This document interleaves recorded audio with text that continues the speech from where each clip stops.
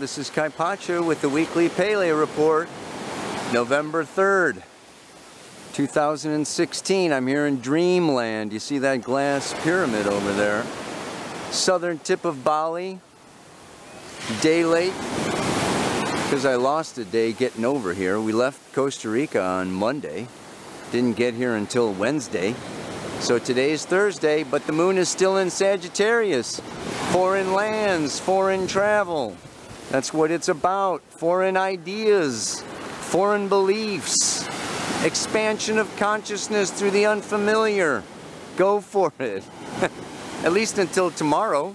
Yeah, because tomorrow she goes into Capricorn and she's going to conjunct with Pluto, square Uranus, you know, and then uh, uh, go into uh, Aquarius on Sunday.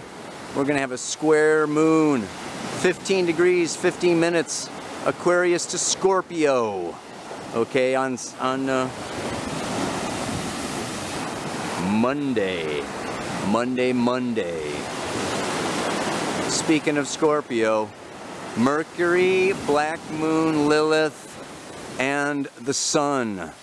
It's a Black Moon Lilith sandwich, okay, for that November election in the U.S., November 8th. But this whole time here, basically this whole week, we've got Sun, Mercury, Black Moon, Lilith conjunct in Scorpio, yeah? I'll talk a little bit about that. What else? Mars, still moving through Capricorn, is going to actually get out of there into Aquarius, okay, next Tuesday, on the cusp, final degrees. I'm going to see if I can come over here without getting soaked and give you a shot of these rocks. This is this is beautiful over here. Yeah. So yeah, Mars moving into Aquarius. What else? I mean, all week, okay, we have some things happening. Uh, Neptune conjunct the south node of the moon that's going on for the rest of the month okay that's you know that's big time I'm going to be talking about that a lot Jupiter squaring Pluto coming into a square that's going to be going on for a month or so but really Venus square Chiron is exact on Saturday and that's kind of a broken heart, you know, healing love crisis can be happening here. All this Scorpio, Venus squaring Chiron. Let me just look at the camera and talk about it a little bit. Okay, so what's going on over there? Well, let's see. Some intense days. Intensity has to do with Scorpio the buildup of intensity has to do with that scorpionic transformation, death, resurrection, transmutation into something else. So we can have going down and coming up at the same time. We've had Mars moving through Capricorn here now for a number of weeks. You know, it hit Pluto, and that Mars, Pluto, and Capricorn is really kind of like pushing and going it is a, it's a drive for ambition, okay? It's a drive for recognition, for accomplishment. It's been a real time of getting things done. And then the Sun and Mercury joins Black Moon Lilith and Scorpio, which is about power. Okay, so we've got like power and then we've got ambition and we've, there's, you know, it's been a little bit of a push that we've been in, kind of creating some stress that we've been under. Like I said before, all these planets are in what we call the transpersonal signs. You know, like things and people and relationships outside of us, business outside of us, things that we can't control, but maybe we would like to control. And this is where Black Moon Lilith brings in the shadow material. I'm here doing a workshop starting tomorrow. Yeah, you know, on the shadow, working with the shadow. And the shadow is just, you know, these negative beliefs we have about ourselves that we suppress. So when Black Moon Lilith is going through Scorpio, we all have a need for some control in our lives. We all have a need for some power over our destinies. Nobody likes to lose. And Scorpio is about, okay, this loss of what I no longer need or I no longer am in order to make something new. So it has to do with win and lose.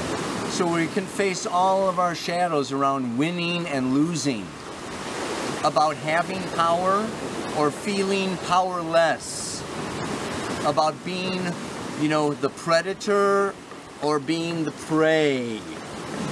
And we're all kind of dealing now, this South Node, Neptune, Chiron, and Pisces does have to do with victim consciousness. And Scorpio can also move into victim consciousness if we're the prey and we feel powerless. And then we're all this sensitive, spiritual, Neptunian energy of Pisces, okay, can also feel powerless.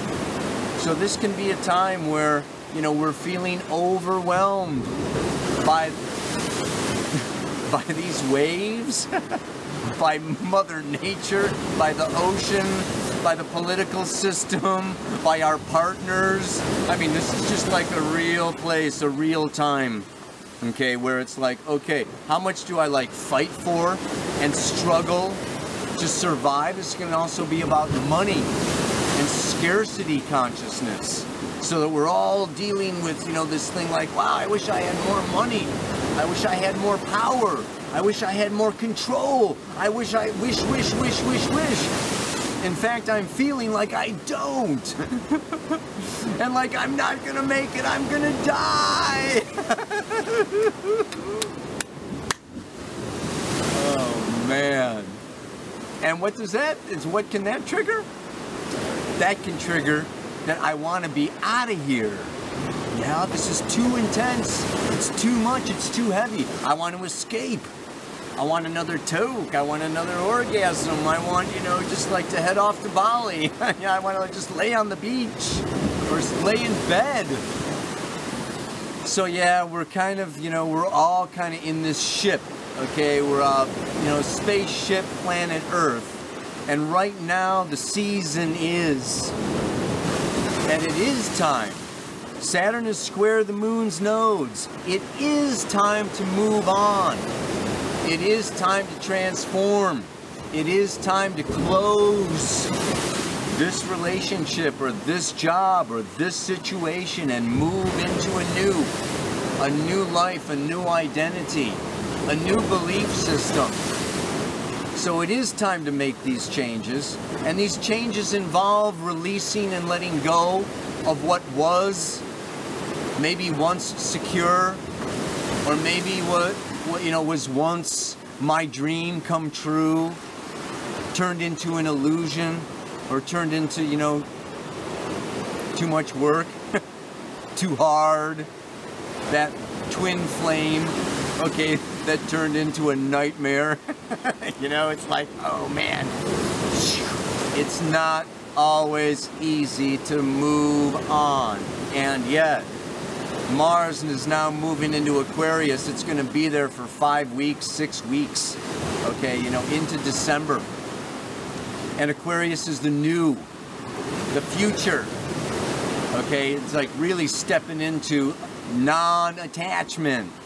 So when you got Scorpio Aquarius, okay, we've got this, you know, first quarter square moon is about the revolution and the future and moving ahead and the sun, Lilith, Mercury, and Scorpio is saying, ah, but I don't want to let go.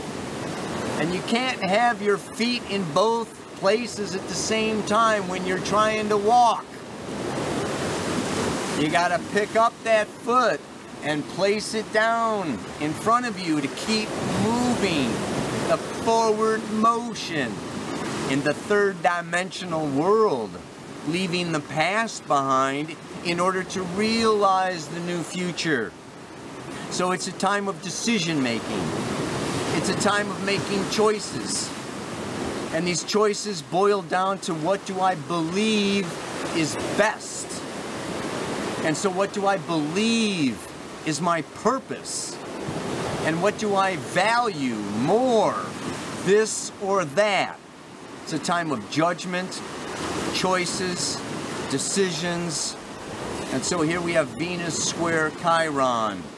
Yeah? a crisis Chiron in values, Venus, changing our values. I used to love this, I used to need this, I used to want this, and now as I see my spiritual purpose or a new destiny laying out before me, I'm changing my course according to a new set of values. Yeah? It's more important for me to do, you know, follow my spirit guidance than to be comfortable here in this situation, this job, this relationship, this condition.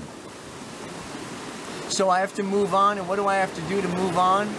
And this is the thing Scorpio is about bringing things to closure. It's time to let go and come to closure, but not run away and escape and avoid. So, how do we do that? Well, that brings me to this week's mantra. oh my God. Yeah, baby. The more I evolve, the more I know. It's not just about moving on but saying and doing all I can to know that the learning is done. Whether you are learning a lesson or whether you think you're teaching somebody a lesson, if you walk out of the job or the relationship or the country or whatever, the religion, okay, prematurely, like without giving it all you've got, without trying your most, saying your most, giving it your all, years down the road, you can have regrets. And you can say, damn, I, for, I didn't say that, I didn't try that, I didn't give that a chance, I didn't da da da da. So if, you know, as you get older, you just want to be in this place of not having any regrets. And the way to not have regrets is to like put your whole heart and soul into every situation that you are involved in and give it all your guns, give it all you got, give it all your guts. Say it all, do it all, try it all, and then, after you are completely exhausted, by that person or that boss or that religion or whatever. After you are like at your rope's end, bam, then you know. I am out of here. I gave it all. I did it all. Obviously, I had to learn this or let go of that, but I know. I know this is over. Yeah. And then you know it's over. Then you move on. You do your Mars and Aquarius, and everything's cool and you die a happy camper because you know what? You got no regrets. You did it all, baby.